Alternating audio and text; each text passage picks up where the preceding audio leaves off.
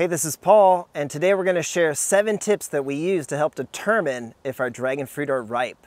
So tip number one is you need to know your variety and your species. So believe it or not, some of our dragon fruit varieties take seven months to ripen, like Syrong's Orange Dragon, Diego's Desert King. And in this case, like this one, Cotton Candy, it's been on here for around 40 days and it's still not ripe. It's starting to turn this yellow color. It's got a little bit of wiggle, but it's not ready yet.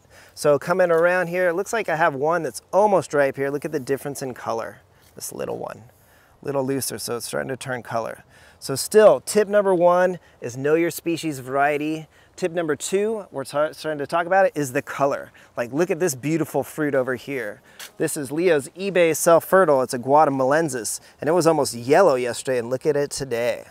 So the color, you can see that there's a little bit of green here, still a little bit too much. I'm gonna give this one more day just off of looking at the color alone. Now the third tip is gonna be looking at the cone. And we learned this from Wallace Ranch is you want to look in the cone because it will tend to split there first. So if you see a tiny little crack there, you know that you want to pick it because within a day or two, it could split, eh, so the fruit could split in half. And then you start to get ants in there and it's going to ruin this fruit that you work so hard on. So tip number two is your color. Tip number three is your cone.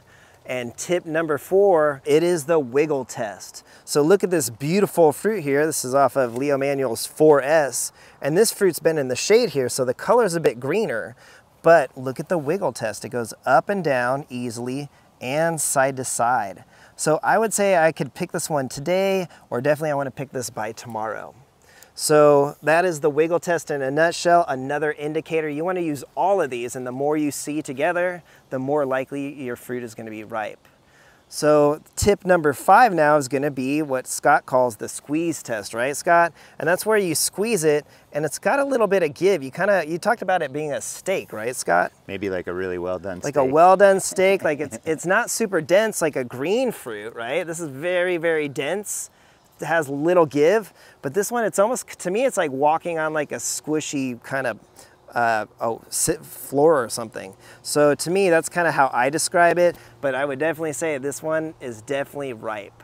Okay, so tip number seven is the weather and the climate and the forecast. So right now, if you can tell, we're really sweaty. The humidity's up, the temperature's up, so that means that the chance of your flower, or your fruit, excuse me, is gonna split especially if you have a lot of water and moisture in the air. So I have a fruit up here that I think it looks a little green, but I think it has almost all the signs. Let's check it out.